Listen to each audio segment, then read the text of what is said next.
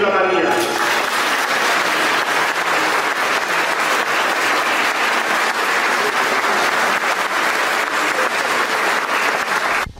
Don Michele, siamo qui nella bellissima cittadina di Anzano di Puglia, una città mariana per tradizione.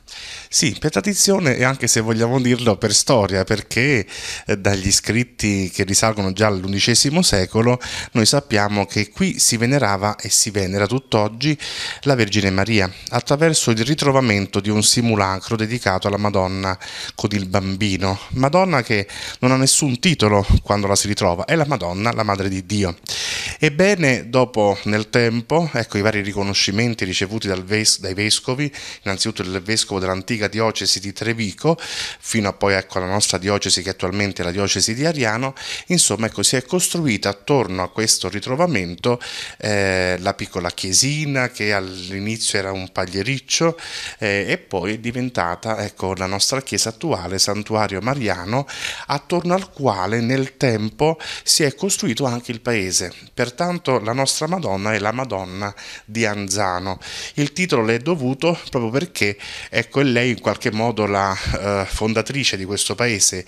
Qui non c'era niente, erano le zone di campagna dell'antica contea e della, del casale di, di, Trevico e adesso è diventato appunto il paese di Anzano che venera Maria. Ecco perché possiamo definire questa, questo piccolo paesino sperduto nella, ehm, dire, nella montagna d'Aunea, ecco appunto eh, paese di Maria, città di Maria.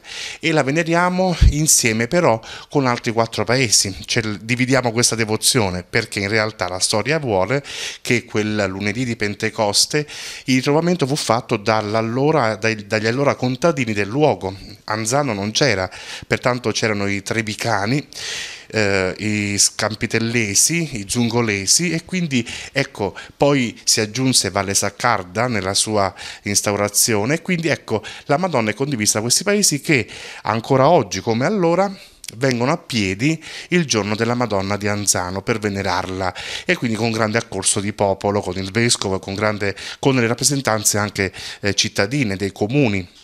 E quindi possiamo dire di, ecco, di vantarci questa bella tradizione.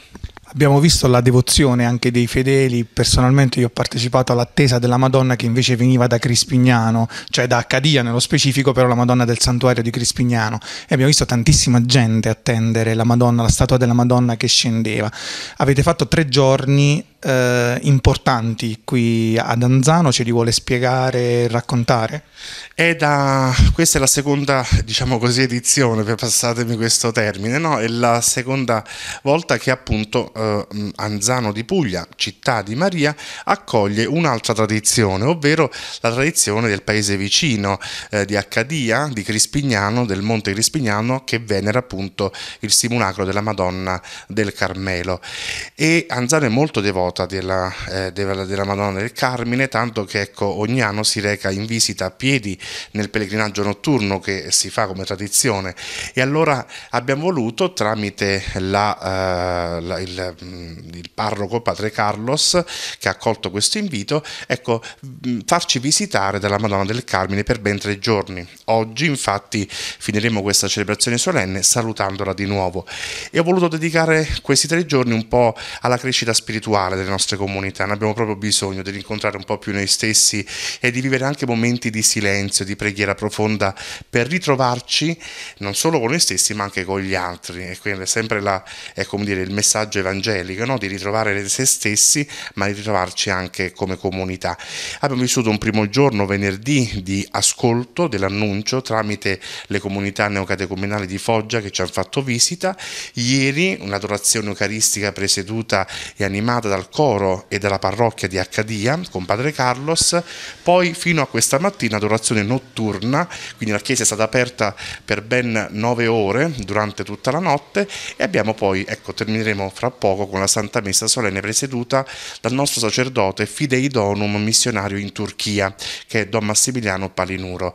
E così termineremo con la celebrazione eucaristica, questa altra devozione, questa tre giorni di esercizi spirituali della comunità di Anzano.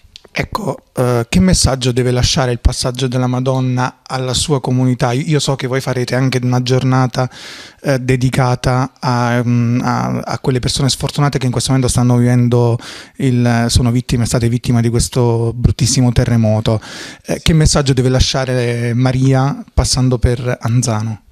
Ecco, noi abbiamo accolto chiaramente l'invito della Caritas Nazionale Italiana eh, il prossimo 18 settembre a raccogliere ulteriori fondi e contributi per questa gente veramente martoriata da questo terribile disastro ecco, naturale purtroppo. E il messaggio io spero che sia soprattutto uno, quello di speranza una speranza che vada contro ogni speranza, perché veramente quando ti ritrovi senza niente, senza famiglia, senza una casa, è la speranza certamente che vacilla. Allora come Chiesa Ecco, siamo chiamati fortemente a ridare speranza attraverso soprattutto la nostra vicinanza nella preghiera, ma anche la nostra fattiva e generosa solidarietà.